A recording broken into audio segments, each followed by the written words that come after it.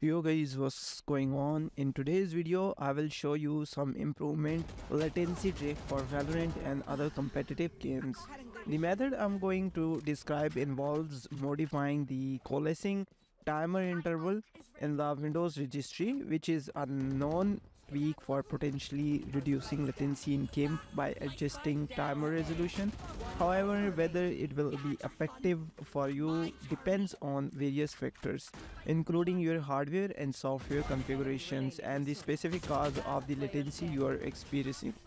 While some users has reported improvement in gaming performance after applying this tweak, it's not a guaranteed solution and its effectiveness may vary from system to system. Additionally, modified registry settings carries a risk of causing system instability if not done correctly. So it's essential to proceed with cautions and create a backup of your registry before making any changes.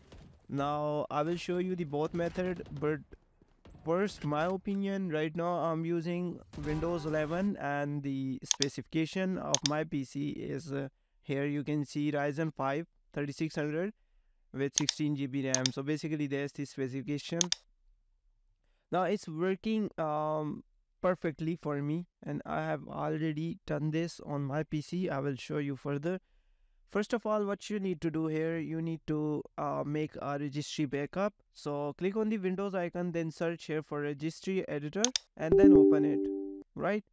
Now, once you open this, you will see here the file import and export. Now, what we are gonna do here, we will make a backup. Just click on export, right? You can export it somewhere in the documents or whatever the location or destination you want. Mm, backup and then hit on save right you cannot save to library please select uh, other location okay if it's not working i can save it in T drive so later on i can fix the issue further. But anyways that's the first step. You need to make a registry backup and after that you need to go into the HKey local machine and then expand it right? Then system and again expand it. Current control set expand it.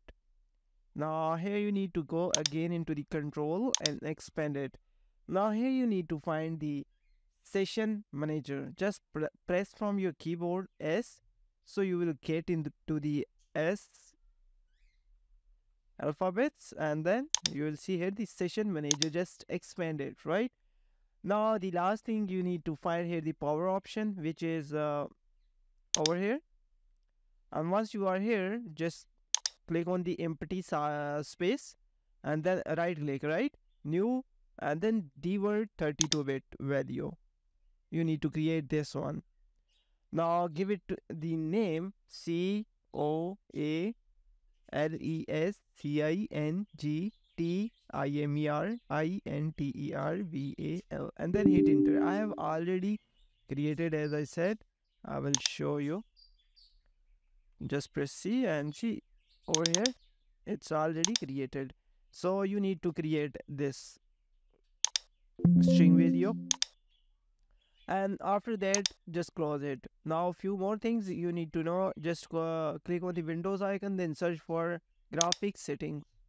And make sure you need to add your game over here and go into the option then high performance. If you don't know simply what you need to do here click on the browse and then go into the valorant folder right? Games valorant live shooter games binary win64 add this one and then go into the live and add this one file into the graphic settings and then go into the option and set it on high performance. The both files should be on high performance. After doing this now go back again and this time you need to search here for game mode. Once you are here make sure enable the game mode. And now click on the windows icon search here for device manager now system devices and you need to find here the high precision event timer. Just right click on it go into the properties drivers and here you will see disable device. Just click on that click on yes and hit ok. Now the last thing again click on the windows icon and then go into the settings. Now go into the game mode. Make sure game bar is turned off. Uh, game mode now make sure enable the game mode which is important if you are using your game settings over here right? And change default graphic settings. Make sure check these both options. And that's it.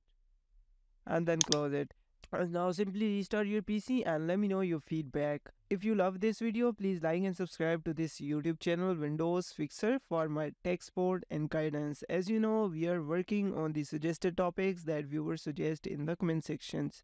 Feel free to ask questions in the comment sections. Have a good day.